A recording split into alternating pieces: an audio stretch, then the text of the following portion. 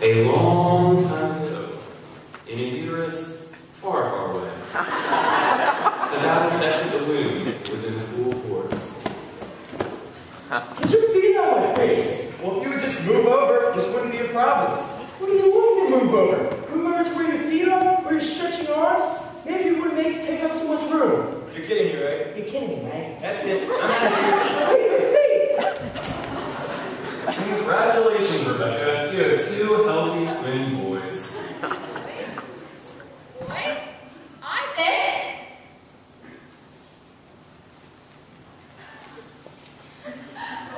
And thus, Jacob and Esau were born. Being the great parents that they were, Isaac and Rebecca named their oldest son Esau because, well, he was red and hairy.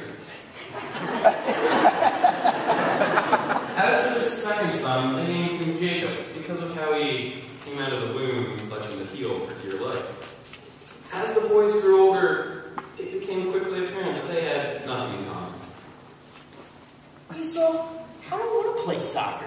Well, I don't want to stay inside and cook with you like some little mama's boy.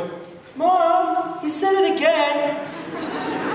Esau was popular and athletic, though not all too great. Jacob, on the other hand, preferred to read or sing, usually kept to himself. Most people would never guess that they were brothers, not even people at school.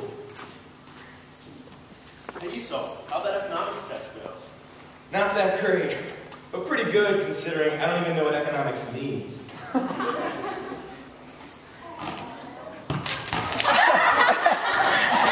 sorry, are you okay?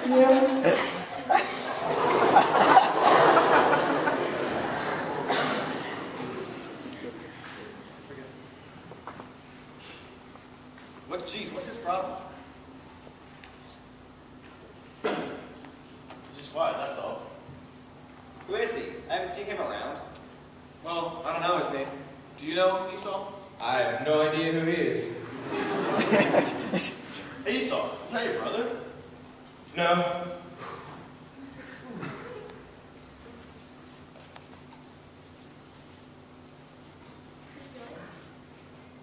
Yeah. Yeah, I mean, it's mine. I mean, thanks.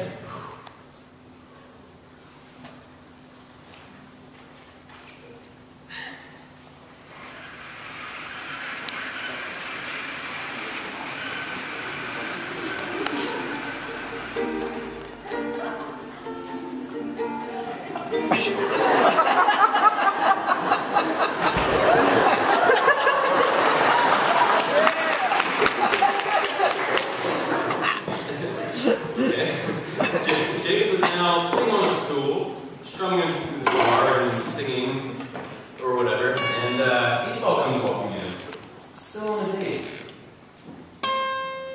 I think I'm in love. What'd you say? I said, I think I'm in love. Oh, really? What's her name?